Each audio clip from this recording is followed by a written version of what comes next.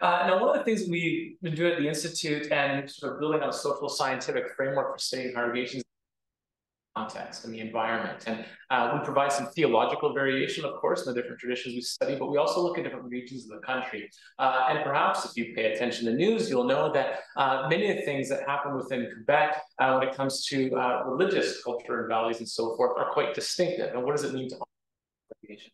Within this setting. So uh, our next presenter, Dr. Uh, Frederic Dejean, and uh, is professor of religious studies at the University of Quebec on Montreal. And so Frederic, I will invite you up. Um, yes,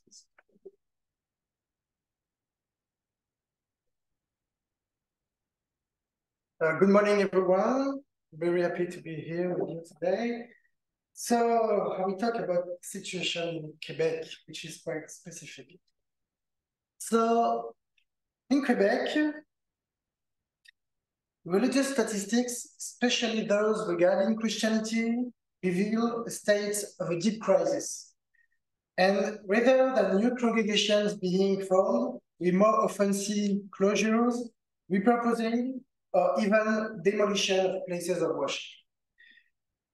However, in this climate that is not very favorable to religious entrepreneurship, evangelical Protestant churches, which portray themselves as urban and fall into the category of non-denominational Christianity, have been launched by young religious entrepreneurs.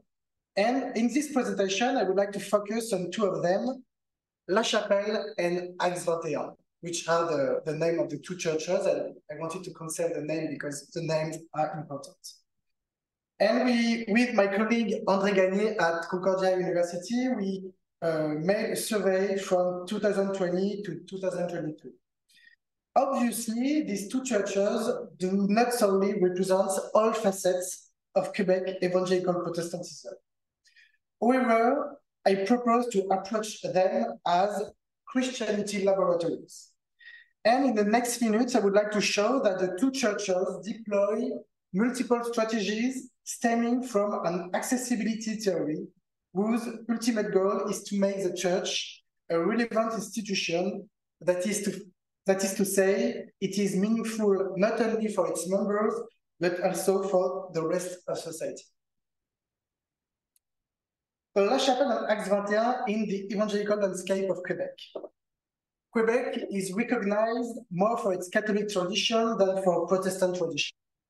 Nevertheless, evangelicals in Quebec experienced the phase of awakening during the 1960s and the 1980s. Today, they benefit from three concurrent phenomena.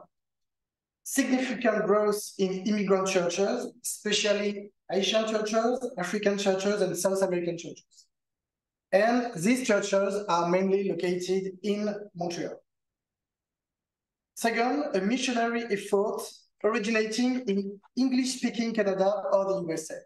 And finally, a Francophone religion entrepreneurship primarily anchored in the Baptist tradition, which is developing a renewed and innovative religious option, mainly inspired by the churches in the USA.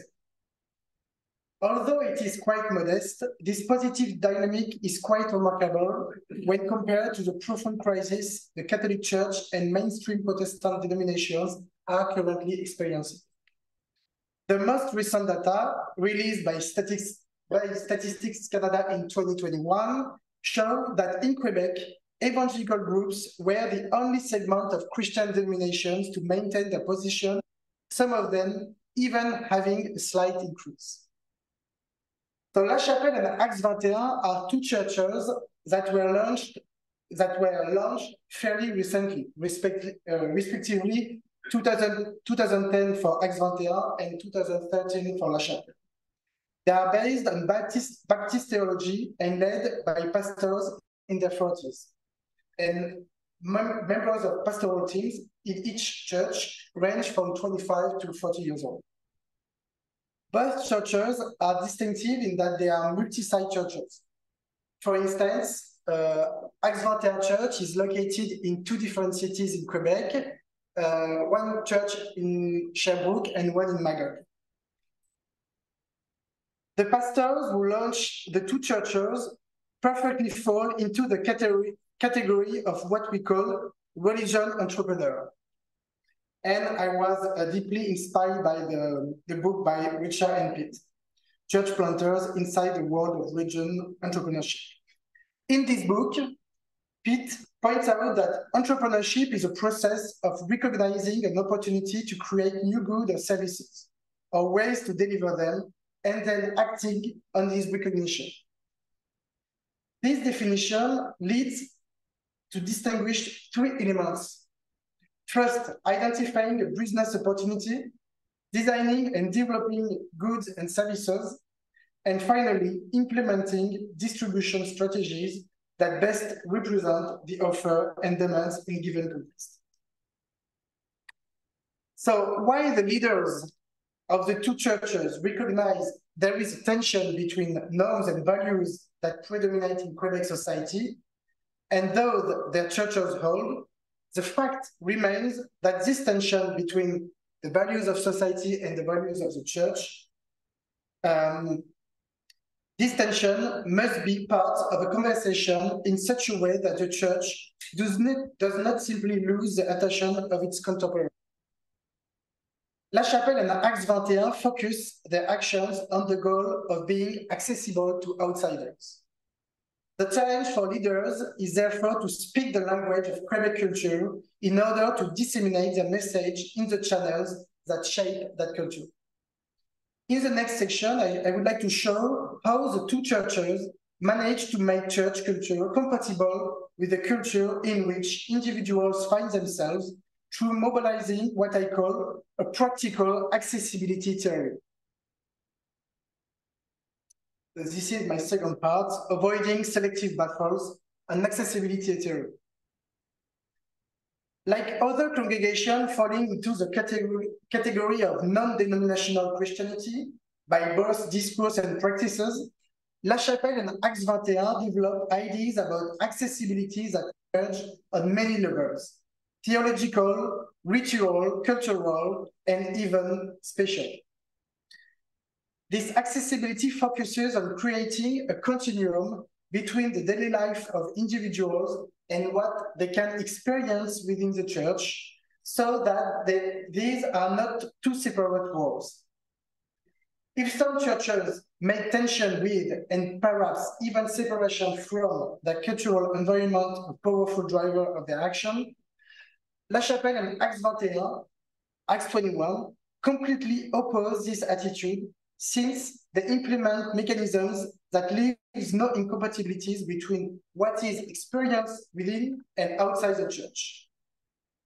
And to, to denote this uh, process, I have borrowed uh, I have borrowed French semiologist Roland Barthes' expression of selective baffle, uh, in French, uh, chicane selective, uh, an expression he uses in his very famous essay, The Pleasure of the Text. Describing literature, Roland Barthes writes that the text, uh, the text, you can see the quote, the text is a fetish and this fetish desires me.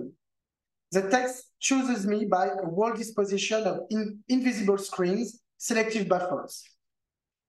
Uh, vocab vocabulary, references, readability, etc.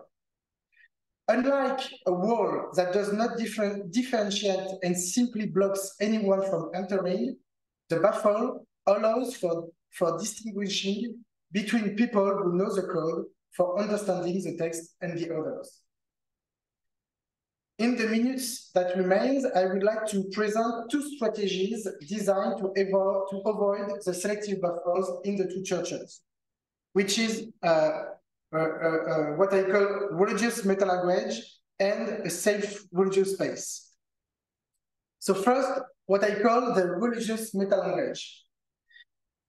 So I would like to start with the um, um, uh, with a quote, with a quotation. Uh, we are in November 2021 at the Sherbrooke Axe 21 Church, uh, which at this moment gathered in Bishop's University Concert Hall uh, uh, an English-speaking university close to the city of Sherbrooke.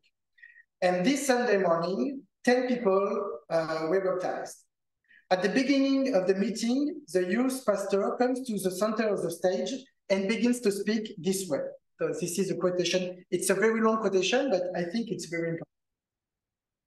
So I, uh, here is what the youth pastor said to the, to the public. For you, this morning might be your first time at Axe 21, and I would like to especially welcome you. You consider yourself a, a, a skeptic, maybe you are curious about God, so I would like to explain a bit to exp explain a bit to you about what this church is like. This is a church that meets at Bishop, but seriously, we could meet anywhere because the most important message for us is the message of the Bible. We believe in Jesus Christ, we believe in the truth that the Bible expresses to us, but we believe that the church must still be relevant for us today. That's why you are going to see that our pastor wears regular clothes. As for me, sometimes I wish he had a robe just because it would be funny. If you are wondering who I am, besides the guy who is in front this morning, my name is Corentin, and I am the youth leader here at Axe 21. What is a youth leader besides making announcements now and then? Well, I take care of teams. Before handing this over to Pastor Jasmin, I will explain what we are currently doing at Axe. While the words of the pastor are motivated by the fact that on baptism days, people who are not Christian or are unfamiliar with the evangelical sphere are likely to be present, this type of discourse, this type of public discourse is quite common at La Chapelle and Axe 21. Borrowing a term that originated in linguistics, I am speaking of religious metalanguage to refer to the fact that during a religious activity, someone explains the religious activity in a way that helps members of congregation and visitors who are not necessarily familiar with its understand uh, with it to understand its meaning. So it's not only the religious activity, but it's a fact that someone is commenting the activity when it's performed. Uh, the excerpt quoted above illustrate perfectly that this religious meta-language covers several dimensions. First, the identity of the church and its theolog theological setting. Second, the position held by leaders. And fin finally, the meaning of the current activity. Uh, I, would like to finish with the second um, element I would like to investigate, uh, what I call a safe religious space. Uh, during an interview, a pastor, a pastor at Axe 21 explained that I told myself that when we started Axe 21, I wanted the only obstacle to be the cross and the gospel message. Because my friends have not refused the gospel message, they have refused an institution, a way of doing this. They have rejected the wrapping paper, not the gift. They found the wrapping paper so ugly, if you will, that they did not even wait around to see the gift inside. A pastor at La Chapelle, Quebec, followed the same line of thought during a Sunday morning discussion uh, before the meeting started. And I quote, we have created an experience team that specifically ensures that the experience here is the best possible. In this way, if people are not touched, it is not because of something we could have taken action on. The two churches expend considerable efforts to create a space within which people feel comfortable. This is what I call a religious safe space and you probably know the expression a safe space. By this expression, I identify a mechanism, both spatial and temporal, that promotes inclusion of each participant, regardless of religious background or spiritual progress. It primarily involves making everyone comfortable. And for instance, as one Axe 21 pastor mentioned, uh,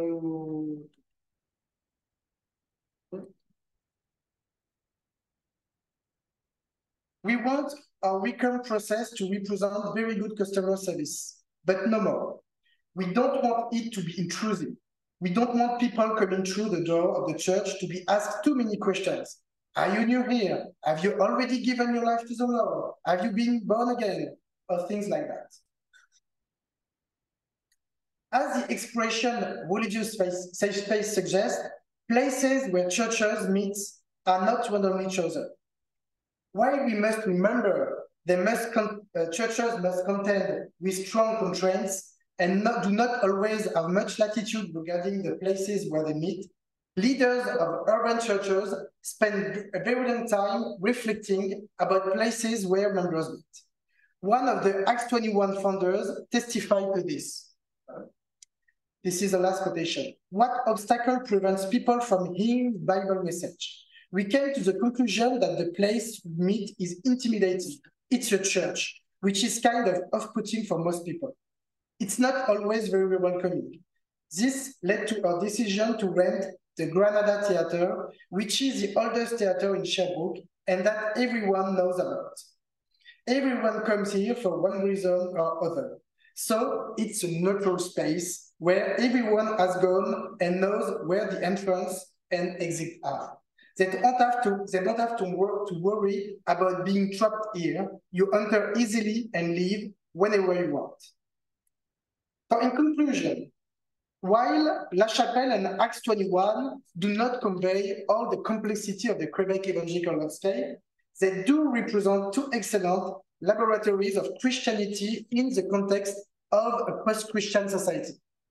Even though Quebec, where until recently Catholicism played a social and cultural role, seems to have, to have mainly turned away from, from Christianity, the two churches demonstrate an ability to reflect by questioning the condition of possibility of their presence and of their flourishing in an environment which at first, at first glance seems unsupportive of them.